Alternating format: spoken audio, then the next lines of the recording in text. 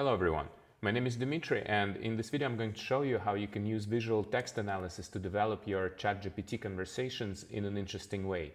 So that instead of having something like this where you gradually get lost in the interaction, you have a graph that shows you the main topics that you covered together with ChatGPT and also where you can see the gaps in your discourse so you can address those gaps and develop this conversation further in an interesting direction that will help you explore new ideas and get to the nuance of meaning of this conversation. So keep watching if you want to learn how it works.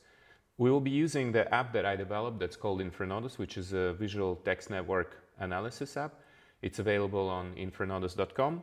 And what you can do is find a ChatGPT conversation. Like in this case, for instance, I had a conversation with it on neoliberalism um, because I wanted to understand what is actually meant by this term a little bit better. So then I export this conversation, just copy a link. And then in Infranodus, you have a feature where you can import a link. So I will go to the apps and import, choose URLs, websites and URL, copy and paste my link, click save. And what happens is that Infranodus extracts all the keywords and uh, concepts from this conversation and visualizes them on the graph. Uh, the concepts that have uh, more influence are shown bigger on the graph, as you can see here. And if those concepts or notions are used in the same context, like for example in this case, they will have the same color. So this visualization provides you a really quick visual overview of the main ideas on a very granular level. If you want high level ideas, so to see more of the topics that you covered, um, you can also click here or there, and then it will show you the main topics, which are actually generated by GPT-4. Uh, neoliberalism history, capitalism debate, political economy and welfare economics. And then we have more here if we click here. So we can see all the topics we covered, which is really great if I want to refresh on this conversation because it happened, I think, a couple of months ago. Uh, and I wanted to pick up where I left. So I decided to use that and to see if I can develop this idea further, right? So first of all, what I like to do is to get a general overview using Infranodus to see what other topics I covered. Neoliberalism history, here, the pink one, capitalism debate, political economy, welfare economics. If I want, uh, if this doesn't give me a general idea of what it's about, even though it does, but I can also summarize this text using GPT, which is built into Infranodus to get a summary of this conversation. So basically we see that we've been talking about neoliberalism and how it's a term that re re refers to a set of economics and political polit policies and also how capitalism is an economic system based on growth and so on and how it's related to concepts such as profit, service and production. So that gives me a quick overview of the conversation. Now let's say I want to see how to develop it further. So I'm going to reset uh, the highlight here by going again into show all and then it will show me all the statements. Uh, one way that you can do is a very direct uh, use of the feature that's called uh, blind spot. So basically what Infranodus does in this case is that it identifies the topical clusters, which are shown here, uh, that could be better connected and highlights the gaps bet between them. So you can see which topics you could connect and generate some ideas to make those new connections which you haven't made before right? In this case, for instance, I can reiterate through a few gaps and normally I like to look for the ones that are further apart.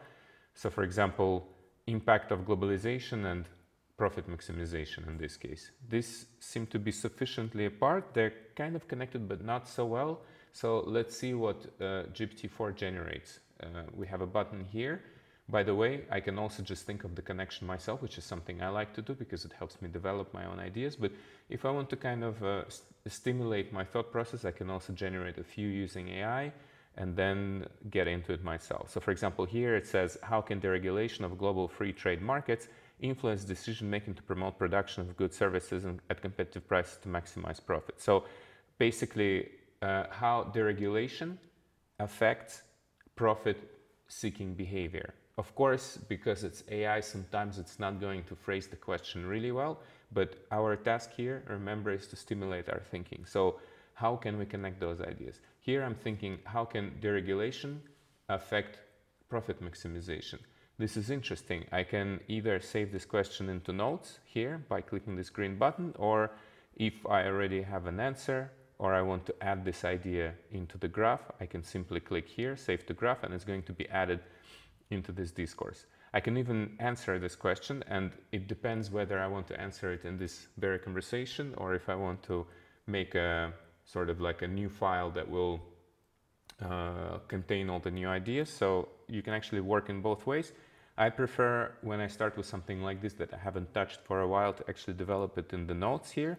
So here I see how can deregulation of global free trade influence uh, profit-seeking behavior and then I can say that indeed there is a connection between those two aspects but also I would be interested to look at the stats and see if there was any correlation between for example deregulation practices and profits derived by the big corporations right? So um, I can just write it as a note. Think of a connection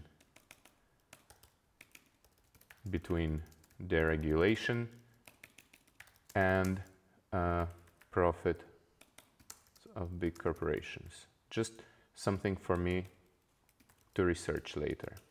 Can save it, so I have it in my thoughts, and then I can generate some new ideas, so I can regenerate some of the questions, and as you can see, it highlights uh, the gap. So for example, I can also choose a new one.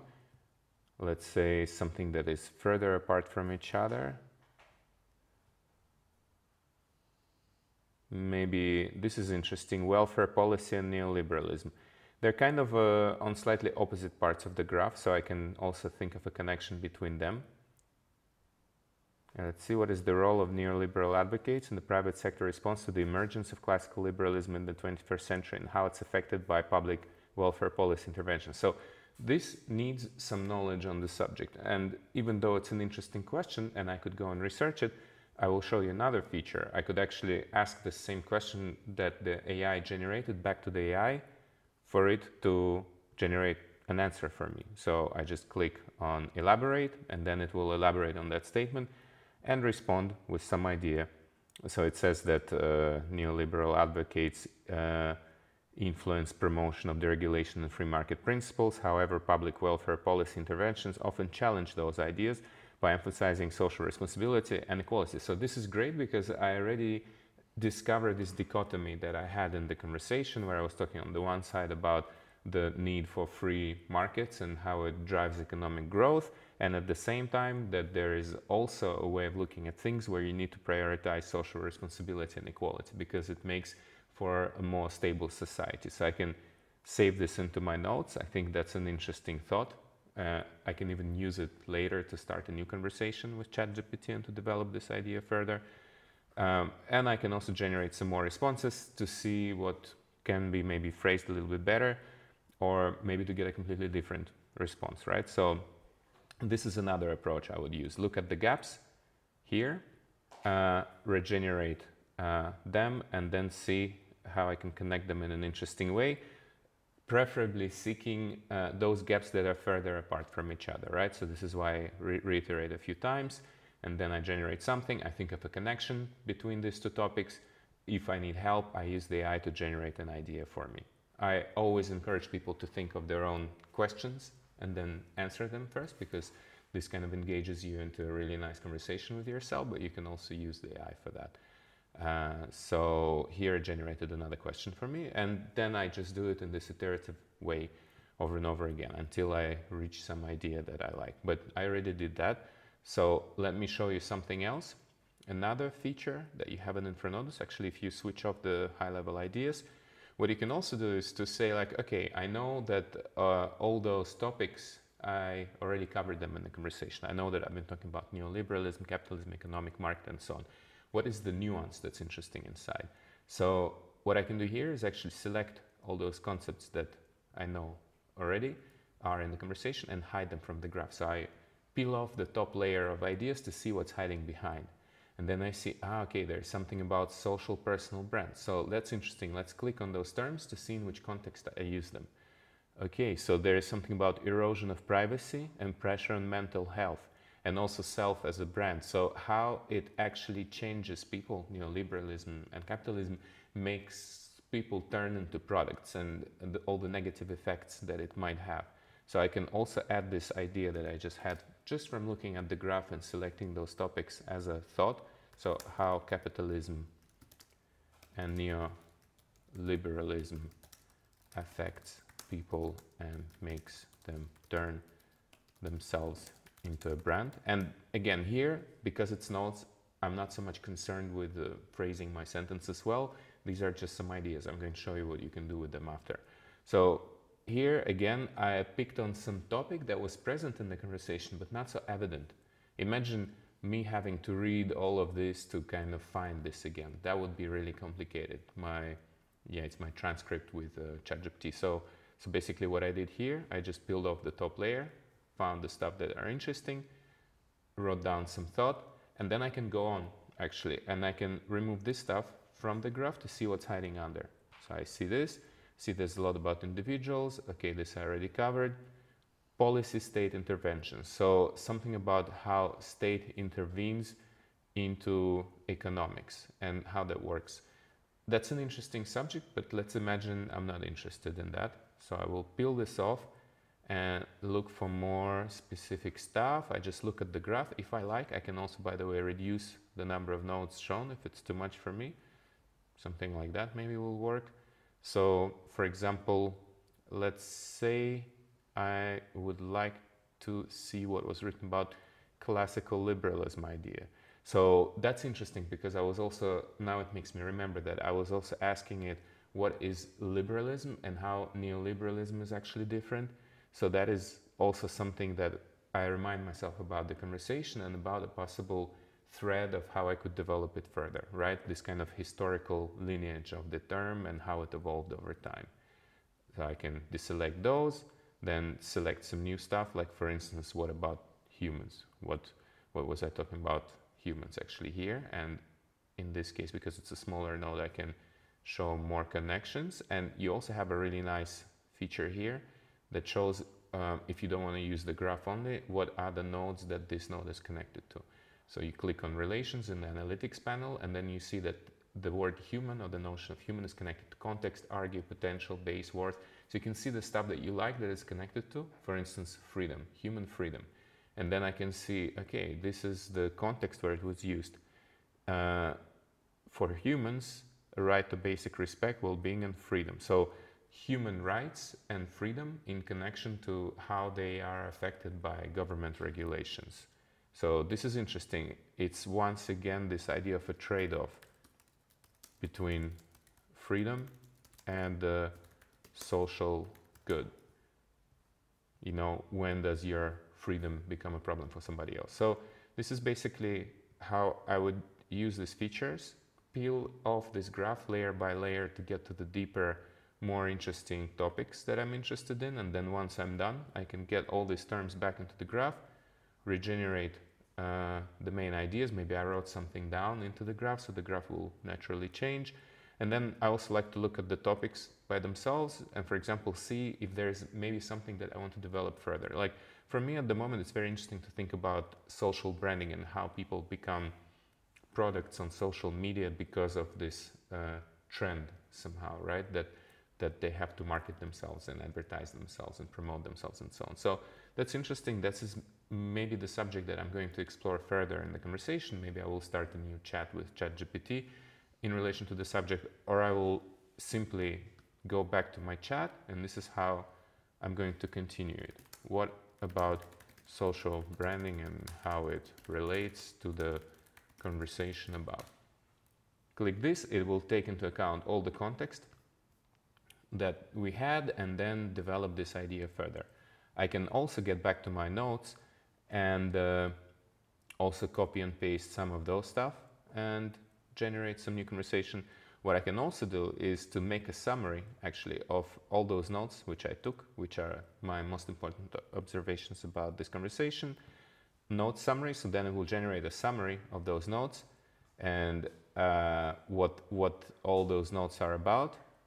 And I can actually even copy and paste this into ChatGPT and ask it to kind of develop the conversation further in this direction. Um, and you know already probably that you can give it instructions further in this direction using the summary of what I'm interested in below. So here I'm copying and pasting that. When it finishes talking, uh, I'm going to send it another prompt. Here you see it's already responding me on the social branding and uh, the connection to the previous conversation I had on this topic. And then we will also discuss uh, how this conversation relates to deregulation and global free trade and profit-seeking behavior. Um, and then I will probably connect it to uh, all these issues of how it affects people on the human level, how it affects society, and probably some interesting ideas will come up and I will form an opinion on this subject and uh, maybe develop it into a text or just some thoughts that I can share with myself or with my friends. So as you can see here, I'm copying and pasting this summary, asking it to develop it further. And here you see it's uh, starting to talk about the relationship between global, global trade deregulation neoliberalism, and personal branding. So that's interesting because it links all those topics that I got interested in by finding them in the graph first, right? So I found them here at the beginning and then I uh, picked the ones that I feel like could be interesting for me. And here we are starting to develop this conversation further, making new connections between them. And this is what Infranodus does really well, helping you find uh, the main ideas in any discourse and then helping you make new connections between them or explore the periphery of those ideas by peeling off the top layers and then going beyond uh, the initial sort of boundary of the interaction or of the conversation you had. Try it out on infranodus.com and let me know how it works. Uh, also subscribe to this channel so you can be informed about more videos that will show how you can combine visual text analysis and ChatGPT. And let me know in the comments or on our support portal if you need any help with that. Thank you very much.